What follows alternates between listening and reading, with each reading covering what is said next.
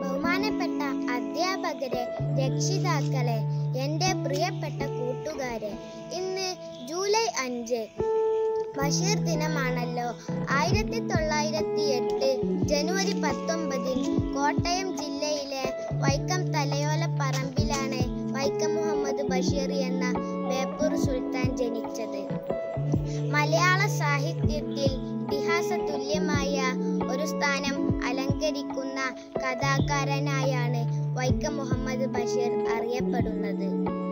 സാധാരണക്കാരിൽ സാധാരണക്കാരനായ നാട്ടുമനുഷ്യന്റെ പച്ച ഭാഷയിലുള്ള ഹാസ്യാത്മകമായ രചനകൾ ആ തൂലിക വായനക്കാരെ ഒരുപോലെ ചിരിപ്പിക്കുകയും ചിന്തിപ്പിക്കുകയും കരയിപ്പിക്കുകയും ചെയ്തു. ബാല്യകാല സഖി പാത്തുമ്മായുടെ ആട് പ്രേമലേഖനം മതിലുകൾ ശബ്ദങ്ങൾ പൂപ്പാക്കൊരാനണ്ടെന്ന് മുച്ചീട്ടു കളിക്കാരന്റെ മകൾ വിഡ്ഢികളുടെ സ്വർഗം പാവപ്പെട്ടവരുടെ വേശ്യ എന്നീ മലയാളി എന്നും ഓർത്തു വെക്കുന്ന രചനകൾ ആ തൂലികയിൽ നിന്ന് പിറവിയെടുത്തു ആയിരത്തി തൊള്ളായിരത്തി എഴുപതിൽ സാഹിത്യ അക്കാദമി അവാർഡിന് അർഹനായി ബഷീർ.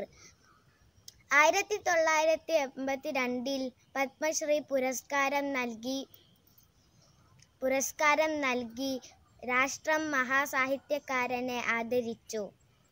അതേ വർഷം തന്നെ കേന്ദ്ര സാഹിത്യ അക്കാദമി അവാർഡും അദ്ദേഹത്തെ തേടിയെത്തി. ആധുനിക മലയാള സാഹിത്യത്തിൽ ഏറ്റവും അധികം വായിക്കപ്പെട്ട എഴുത്തുകാരൻ എന്ന വിശേഷണവും അദ്ദേഹത്തിനുണ്ട്.